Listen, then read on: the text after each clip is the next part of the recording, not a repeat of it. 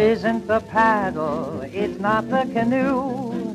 It isn't the river or skies that are blue. It isn't the love dreams that brings joy to you. It's the girl, it's the girl.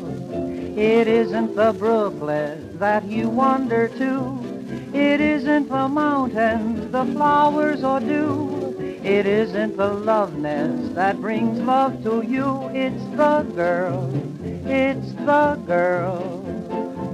Even though at times you often doubt them, what a lonely world would be without them. It isn't the songbirds, the songs that they sing. It isn't the sunshine that makes you like spring. So what is this magic that makes love the thing? It's the girl, it's the girl.